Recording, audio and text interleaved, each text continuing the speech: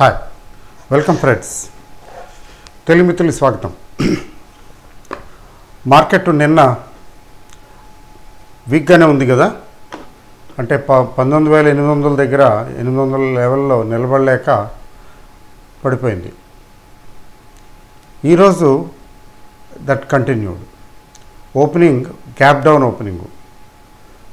So more than hundred points gap down opening. Open అయిన తర్వాత కూడా కొంచెం తగ్గింది. బట్ ఫైనల్గా ఏంటంటే మధ్య కొంచెం రికవర్ అయింది no doubt.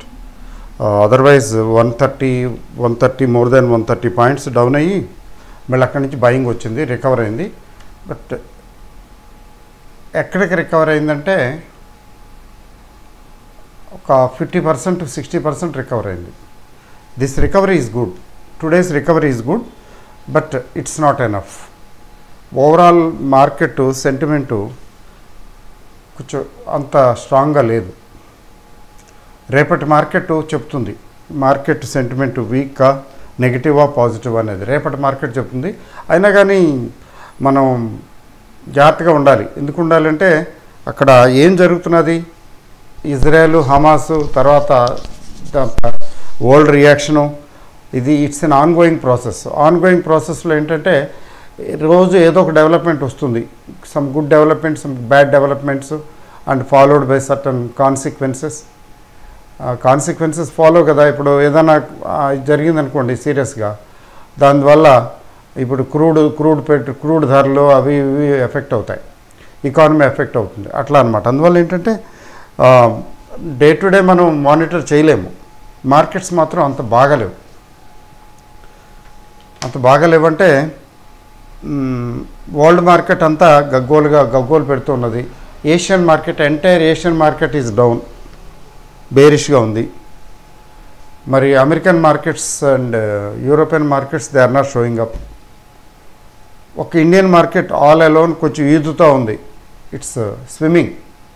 Wading through. ఇంకా స్విమ్మింగ్ అని చెప్పడం కూడా it is simply wading through. It's okay. ఈ నేపథ్యంలో ఏంటంటే ఈ వార్ తాలూకు సిచ్యువేషన్ని అసెస్ చేయడం కష్టం. ఏ రోజు ఎలా ఉంటుందో. ఇంకో పక్కన ఏంటంటే ఎఫ్ఐఎస్ అమెరికాలో బాండ్ ఈల్డ్ పెరుగుతున్నదని ఎఫ్ఐఎస్ మామూలుగా కొంచెం డిఫరెంట్ కంట్రీస్ నుంచి విత్డ్రా చేయటం మొదలుపెట్టారు. So they have started selling in India also. So చెప్పాలంటే మీకు ఈ అక్టోబర్ నెలలో పన్నెండు వేల ఏడు వందల డెబ్భై రెండు కోట్లు FIIs sold of course that did not reflect కదా మనకి. ఎందుకని? Indian economy is so sufficient self sufficient self reliant that ఏ వాళ్ళు అమ్ముకునే రెండు వేల కోట్లు మూడు వేల కోట్లు అమ్ముకుని పోయినా అది that is not that is not having a telling effect ఆ టెల్లింగ్ ఎఫెక్ట్ ఎందుకు ఉండటం లేదు అంటే మనకి ఇండియాలో ఇన్ఫ్లోస్ బాగున్నాయి. మ్యూచువల్ ఫండ్స్కి డబ్బులు బాగా వస్తున్నాయి. సిప్ మోడ్లో చాలామంది కడుతున్నారు. సో ఇన్వెస్ట్మెంట్ కల్చరు ఒక రకంగా చెప్పాలంటే గ్రో అవుతూ అవుతూ వస్తున్నది ఇండియాలో. ఇండియాలో ఈ ఇండియా ఇన్వెస్ట్మెంట్ కల్చర్ గ్రో అవుతూ రావటం ఒక కారణం. దానివల్ల ఏంటంటే ఇప్పుడు ఎఫ్ఐఎస్ చూడండి మనకి ఎఫ్ఐఎస్ అమ్మినట్లు ఏమనిపించలేదు అనిపించలేదు కదా దాని తాలూకు పించి కూడా ఫీల్ అవ్వలేదు మనం.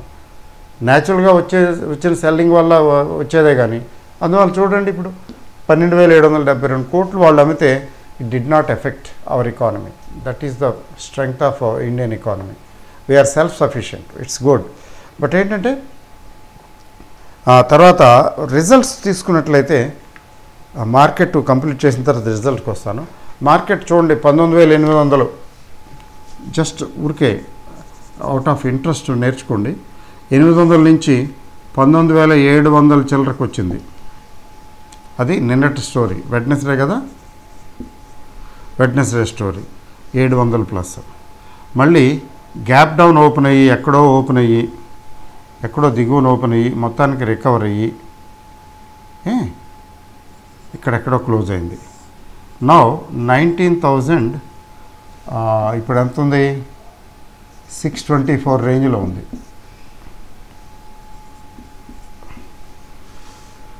అంటే ప్రీవియస్ క్లోజ్ కంటే ఈ క్లోజ్ తక్కువ. ఇది ఇది ప్రీవియస్ క్లోజ్ కంటే తక్కువ ఇది ప్రీవియస్ క్లోజ్ కంటే తక్కువ.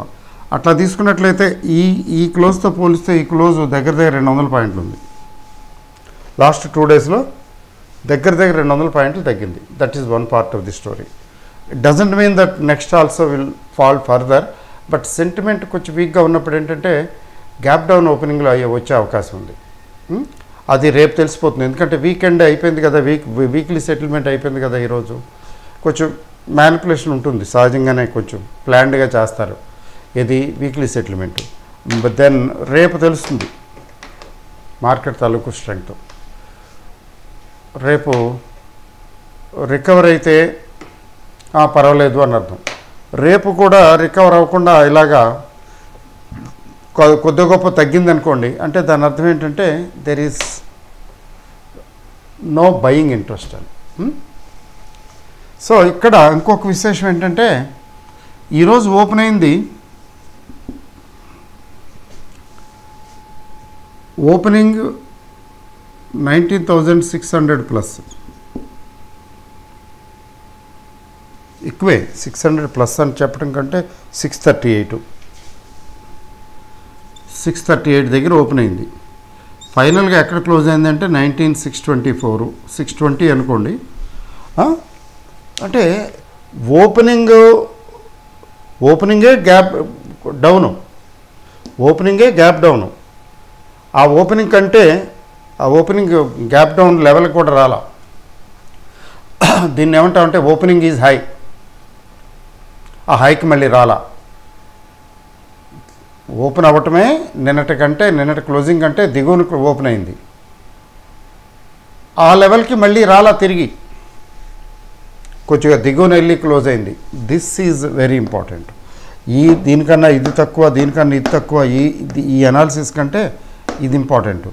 ఈరోజు ఎక్కడైతే ఓపెన్ అయిందో అక్కడది అక్కడికి మళ్ళీ రాలా. When the opening is equal to high opening is high that is called a weak market a bearish market అంటే ఈరోజు ఈ రోజుకి సంబంధించి మాత్రం షూర్గా బేరిష్ మార్కెటే రేపటి స్టోరీ రేపే. అయితే గ్లోబల్గా జరుగుతున్నటువంటి ఆన్ గోయింగ్ సిచ్యువేషన్స్ దృష్టిలో పెట్టుకుంటే తర్వాత గ్లోబల్ కా గ్లోబల్ ఎకానమీస్ వాటి స్టాక్ మార్కెట్ల తాలూకు పెర్ఫార్మెన్స్ని దృష్టిలో పెట్టుకుంటే మార్కెట్ మనది ఎక్సెప్షనల్లీ హై ఎక్సెప్షనల్గా పై పైకి వెళ్ళే అవకాశం లేదు తక్కువ. కాబట్టి ఈ సిచ్యువేషన్స్లో ఏంటంటే inspite of good results by companies and all these things తటస్థ విధానం అవ అవలంబించడం మంచిది. అంటే ఏంటంటే should we stop fresh buying yes దీని ఆన్సరు ఎస్ ఎందుకని అంటే సిచ్యువేషన్ ఏంటేంటో చెప్తున్నారు. రోజుకో డెవలప్మెంటు అనుకోకుండా ఏదైనా అవాంఛనీయమైనటువంటి డెవలప్మెంట్ వస్తే అట్లాంటప్పుడు కొంచెం ఎక్కువగా పడే అవకాశం ఉంది. అలాంటిది రాకపోతే ఎక్కువగా పడకపోవచ్చు ఇలాగే నడుస్తూ ఉంటుంది. ఎందుకంటే ఫ్యూచర్ కంటింజెన్సీ కంటింజెన్సీ కదా. ఏదైనా అనుకోని అవాంఛనీయ గంట ఘటనలు జరిగితే గ్లోబల్గా అప్పుడేమో డబ్బును పడిపోతుంది మార్కెట్లో అన్నీ పడతాయి ఇండియా కూడా ఖచ్చితంగా పడుతుంది. కొంచెం ఎక్కువ పడుతుంది. ఎందుకని? పై పైన ఉంది కాబట్టి బాగా పెరుగుంది కాబట్టి బాగా తగ్గుతుంది. అలాంటివి జరగలేదనుకోండి ఎలాంటి ఈవెంట్స్ నార్మల్గా నడుస్తుంది బట్ అక్కడ కూడా అగ్రెసివ్గా పైకి వెళ్ళే అవకాశం లేదు. అంటే ఏమీ జరగకపోతే పెద్దగా పెరగదు. ఏదైనా జరిగితే పెద్దగా తగ్గుతుంది. కాబట్టి ఈ సిచ్యువేషన్లో బెటర్ అవాయిడ్ ఫ్రెష్ బయింగ్ అయితే స్టాక్ స్పెసిఫిక్ బయింగ్ చేయొచ్చు కదండి అంటే చేయొచ్చు కానీ but better better better avoid fresh buyings ఏం అవ్వదు కీప్ మనీ చూద్దాం ఎలా ఉంటుందో. అది విషయం. అయితే రిజల్ట్స్ తీసుకున్నట్లయితే they are not bad Indian economy is doing well for example చూడండి UltraTech cement cement industry UltraTech net profit sixty eight point eight percent up అంట ప్రాఫిట్ సిమెంట్ ఇండస్ట్రీ ఏం బాగోలేదు అంత బాగా రావటం లేదు. కానీ UltraTech is exceptional is able to do it later see other cement factories other cement companies performance తర్వాత ఇది ఎయిట్ ఫైవ్ వన్ ఎయిట్ దగ్గర క్లో ట్రేడ్ అవుతున్నది. Eight five one eight. ఇది సిఎంపి తర్వాత రెండోది ఇంకోటి ఏంటంటే of course mind tree mind బాగిలింగే కదా. Mindtree is doing performing very well results కూడా రిజల్ట్స్ కూడా బాగున్నాయి. ఇది కాకుండా ఇంకొకటి ఏంటంటే కంపెనీ హిందుస్థాన్ యూనిలివర్ ఈ హిందుస్థాన్ యూనిలివర్ విశేషం ఏంటంటే it beats the market estimates. ఇది three point eight six percent profit అప్పట. చూడడానికి త్రీ పాయింట్ ఎయిట్ సిక్స్ పర్సెంటే కానీ ఈ అమౌంట్ వైజ్ చాలా ఎక్కువగా ఉంటుంది ఇది. So FMCG has come to stay మార్కెట్లు ఎలా ఉన్నా ఈ ప్రపంచం ఎలా ఉన్నా తలకిందులు తపస్సు చేసినా ఎఫ్ఎంసీజీ సెక్టర్ జనరల్గా ఎఫెక్ట్ అవ్వదు. So results as a whole it appears they are doing well they are going to do well అని అనిపిస్తున్నది. మరి ఈ పరిస్థితుల్లో మార్కెట్లు ఎలా ఉంటాయంటే ఎక్స్టర్నల్గా ఏమీ జరగకపోతే ఎక్స్టర్నల్గా ఏమీ అవాంఛనీయమైనటువంటి వార్తలు కానీ ఘటనలు కానీ లేకపోతే మార్కెట్లు నార్మల్గా బాగానే ఉంటాయి. పెద్దగా పెరగకపోవచ్చు నార్మల్గా ఉంటాయి. ఏమాత్రం కొద్దిగా జరిగిన డౌన్ డౌన్ సైడ్. ఎందుకంటే పంతొమ్మిది వేల ఎనిమిది వందలు పంతొమ్మిది వేల రెండు వందల యాభై. గుర్తుపెట్టుకున్నది ఈ పంతొమ్మిది వేల ఎనిమిది వందలకి వెళ్తే సెల్లింగ్ వచ్చేస్తున్నది. వచ్చింది కదా? రెండు రోజుల కిందట పంతొమ్మిది వేల ఎనిమిది వందలకి వెళ్ళింది కొట్టేశారు. మరి పంతొమ్మిది వేల రెండు వందల యాభైకి రాలేదు ఇంకా.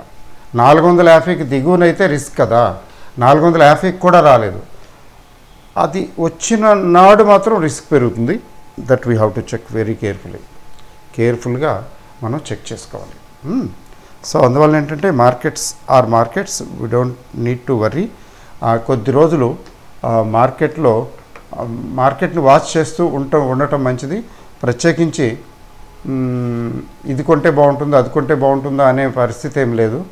ఇంకొకటి ఏంటంటే టెక్నికల్ ఇండికేటర్స్లో నేను చూసింది ఆర్ఎస్ఐ అంతగా డౌన్ లేదు కానీ అబవ్ ఫార్టీలోనే ఉంది కానీ ఎంఏసిడి ఇండికేటర్ మాత్రం కొంచెం స్లైట్లీ నెగిటివ్ జోన్లోకి వచ్చింది స్లైట్గా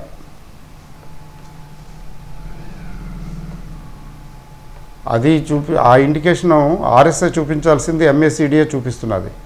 సో కొంచెం something appears to be wrong తర్వాత వాలటైలిటీ మార్కెట్లో మార్కెట్లో కోర్స్ సెటిల్మెంట్ రోజు ఈరోజు ఆ మాత్రం వాలటైలిటీ ఉండదు ఏంటండి అంటే ఒకసారి ఉంటుంది ఒకసారి ఉండదు కదా. ఒకసారి ఊరికే అలా తీసుకొచ్చి అక్కడ పెట్టేస్తారు. గ్యాప్ అప్ ఓపెనింగో గ్యాప్ డౌన్ ఓపెనింగో ఏదో ఒకటి చేస్తారు. అక్కడి నుంచి మూమెంట్ ఉండదు. ఒక యాభై పాయింట్లు వంద పాయింట్లు లోపు అక్కడక్కడ అక్కడక్కడే మూవ్ చేస్తారు. ఎందుకంటే పెద్దగా మూవ్ అవనవరు పెద్దగా మూవ్ అయితే చాలా ఇబ్బంది. ముఖ్యంగా ఆప్షన్ సెల్లర్స్కి చాలా ఇబ్బంది. అవనవరు కానీ కొన్ని సందర్భాల్లో టుడే ఈజ్ అన్ ఎక్సెప్షన్. ఎట్లాంటి ఎక్సెప్షన్ అంటే నాలుగు రూపాయలకు వచ్చిన నిఫ్టీ కాలు నలభైకి వెళ్ళిపోయింది. కళ్ళ ముందు చూస్తూ చూస్తూనే ఎంత? It's a matter of one hour one and half hours నాలుగు రూపాయలదే నలభై రూపాయలు. దీన్నే వీటిని అంటారు కదా హీరో జీరో కాల్స్ అని. Hmm? అట్లానే పన్నెండు రూపాయలు. పన్నెండు రూపాయల దల్లా ఎనభై ఎనభై ఐదుకి వెళ్ళింది. చూసారా? అట్లా ఉంటుంది. ఎక్సెప్షనల్గా ఈరోజు మాత్రం మార్కెట్ అలా బిహేవ్ చేసింది. ఎందుకంటే market operators they could not prevent the volatility కాబట్టి ఈ volatility this is not going to do well for anybody అందువలన markets are markets and we have to follow మనమేమి ఇలా ఉంటే బాగుంటుంది అలా ఉంటే బాగుంటుంది లే అనటానికి లేదు. ఎవరు చెప్పు చేతుల్లో ఉండదు. తర్వాత మార్కెట్ ఇలా ఉంటుంది అలా ఉంటుందని చెప్పడానికి కూడా లేదు. ఎందుకంటే ఎవరు చెప్పు చేతుల్లో ఉండదు. అటు మార్కెట్స్ ప్రస్తుతానికి ఏంటంటే గ్లోబల్ సిచ్యువేషన్ బాగోకపోవటం మూలన కొద్దిగా ఎఫెక్టెడ్గా టెయింటెడ్గా కనబడుతున్నాయి. కాబట్టి better to wait and watch. ఎక్కువ దీని గురించి ఆలోచించక్కర్లేదు. అయితే మనం ఏది అమ్ముకోవాల్సిన అవసరం లేదు ప్యానిక్ అయ్యి. ఒకవేళ మార్కెట్లు తగ్గినా అసలు ప్యానిక్ అయ్యి అమ్ముకోవాల్సిన అవసరం లేదు. ఎటొచ్చి ఏంటంటే మనం కొనుక్కున్న షేర్లు ఫండమెంటల్లీ స్ట్రాంగ్గా కాదా? ఫండమెంటల్స్ ఏంటో చెక్ చేసుకోవాలంతే. ఫండమెంటల్స్ చెక్ చేసుకోవటం రాకపోతే కనీసం వి క్వార్టర్లీ రిజల్ట్స్ చెక్ చేసుకోవటం. కంపేర్ చేసుకోండి. అస్సలు టెన్షన్ పడక్కర్లేదు కంగారు పడక్కర్లేదు అసలు అమ్మక్కర్లేదు. సెల్ అండ్ రైజు అవన్నీ ట్రేడర్స్కి సంబంధించినవి. Wait and watch okay all the best thank you very much